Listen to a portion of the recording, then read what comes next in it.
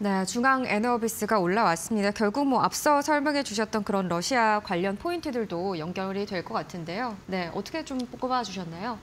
일단 중앙 에너비스 같은 경우에는 제가 이전 방송에서도 많이 이제 테마주로서 꼽아왔던 종목 중에 하나인데요.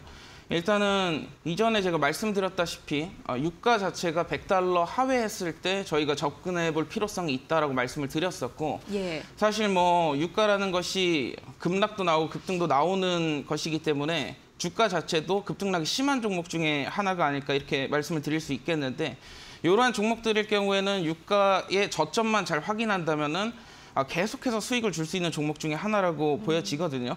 그렇기 때문에 지금 사실 중국 봉쇄로 인해서 유가가 좀 떨어졌던 부분도 있었지만 오늘자 뉴스 기사에 따르면 5월 초부터는 이제 봉쇄를 좀 완화하겠다. 이러한 기조도 보여주면서 좀 유가 자체가 조금씩 반등해 주려는 그런 흐름이 나타나고 있다는 것이죠.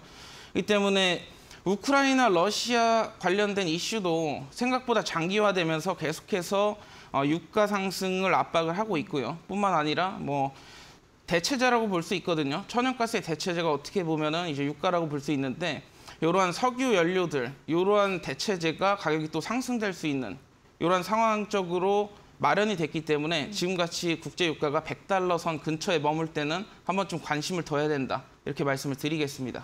네, 지금 중앙 에너비스 같은 경우는요, 한 3%대 지금 하락률을 기록을 하고 있습니다. 뭐 가스 관련해서 대성 에너지는 오늘 한 22%까지도 급등력을 좀 보여주고 있는 흐름들인데 이 종목에 대해서 매수 시점을 좀 잡는다고 하면 좀 어떻게 잡아볼 수 있을까요?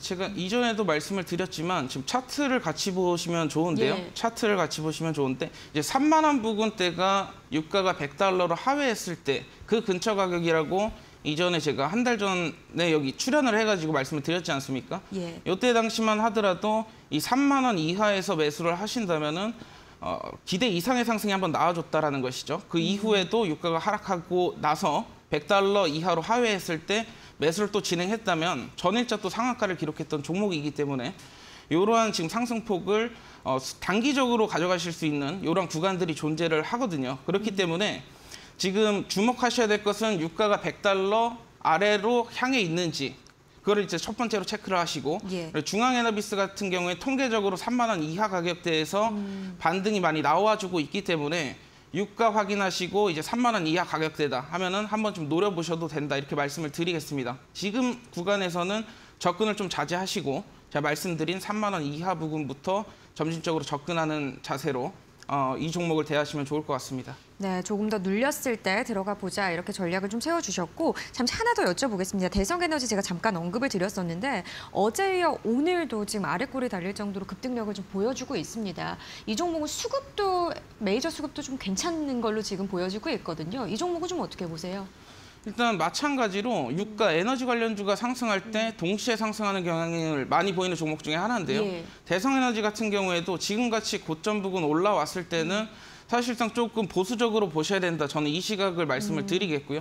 중앙에너비스 3만 원 가격대 말씀드렸듯이 중앙에너비스가 3만 원 가격대 왔었을 때는 대성에너지도 바닥 구간에 위치해 있을 확률이 큽니다.